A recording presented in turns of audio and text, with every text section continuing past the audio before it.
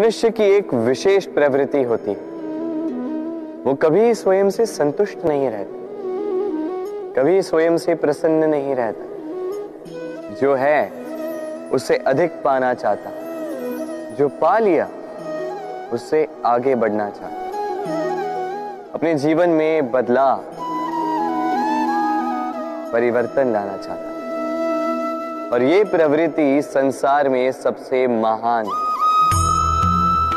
क्योंकि इसी प्रवृत्ति के चलते संसार में विकास होता किंतु इस बदलाव के लिए मनुष्य उसकी खोज में रहता है, जो उसके जीवन में बदलाव ला सके, उसे मार्ग दिखा सके, उसके जीवन में परिवर्तन ला सके। और इसके लिए मनुष्य संसार भर में उसे खोजता है, जो उसके पास है।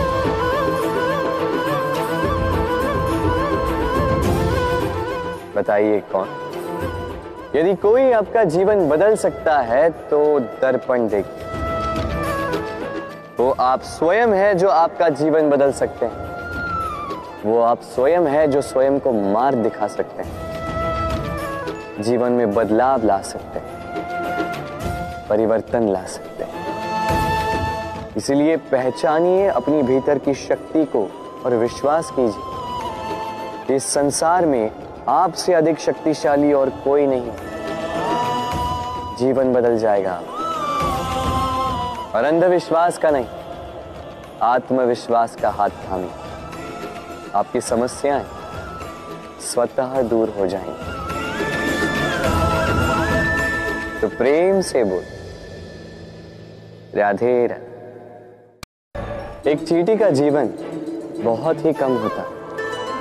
दो दिन। अधिक से अधिक एक सप्ताह, बस। कितनी कम भोजन की आवश्यकता होती है उसे किंतु फिर भी वो चलती रहती कर्म करती रहती अपनी आने वाली पीढ़ियों की विरासत के लिए कर्म ना रोको। करते रहो। चलते रहो। कुछ ना मिला तो चलने में सिद्धास्त हो जाओ। लक्ष्य ना मिला। तो एक सुगढ़ यात्री तो बन पाओ तो प्रेम से बोलो। राधे। मनुष्य की एक विशेष प्रवृत्ति